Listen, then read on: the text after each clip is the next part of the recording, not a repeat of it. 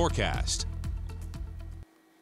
that high pressure system that has uh, essentially led to some very tranquil weather, lots of sunshine, comfortable temperatures, and the reduction in humidity uh, is actually going to start to shift eastward as we head through the evening and into the day tomorrow. And that really is going to allow for an upper level system to take hold of our area and bring in more clouds and also bring in the chance of some showers for your Tuesday. I don't think it's going to be an overwhelming rain opportunity, but there will be some showers in the forecast. You'll need the umbrella on standby. Now, as we turn turn the page to Wednesday, looks like we're going to be setting up for a little bit of a messy situation. Uh, there's going to be the potential for some strong to severe thunderstorms. There's going to be enough instability for these storms to tap into, enough energy in the atmosphere. So we're definitely going to be watching the skies and, of course, watching radar very closely on Wednesday. Let's get you through the next 48 hours. Uh, first, starting with this high pressure system that once again has us almost cloud free and definitely rain free across the entire state of Maryland. Really, just a beautiful afternoon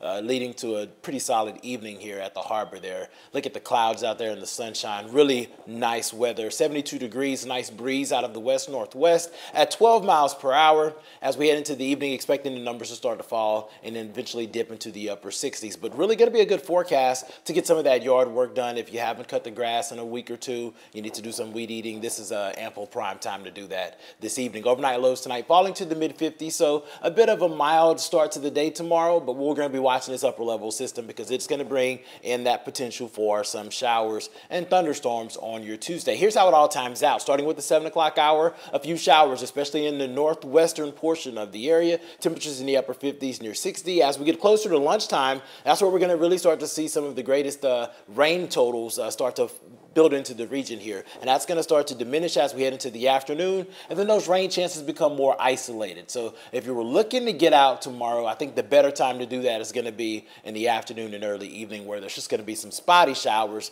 versus uh, some heavy uh, rain. Temperatures at 70 degrees as we get closer to the 7 o'clock hour, eventually starting to get some clearing as we get closer to midnight. But here is that setup for severe thunderstorms for your Wednesday. And notice level 2 risk for the extreme northern portion of the viewing area area. Uh, that's going to include Bel Air, Thurmont, all the way uh, west towards uh, Garrett County and folks out in Cumberland. Everyone else under that level one risk for strong storms. Here's how it all plays out. I think we'll see some early showers early morning. As we get closer to the 8 o'clock hour, we're going to be watching another burst of energy start to build into the area. And I think some folks could see some showers around lunchtime, especially uh, folks that are in Bel Air, Elkton. But we're really going to be watching the evening line of showers and thunderstorms because that's where the most energy is. And I think we'll have some heating from the day, especially especially around that 6 to 7 o'clock hour, still enough out there for these thunderstorms to tap into. And as we get closer to 9, 10 o'clock, we start to lose all of that energy and those showers start to weaken a little bit. Rain chances will continue to linger, though, as we head into your Thursday and Friday, and eventually starting to clear out on Saturday.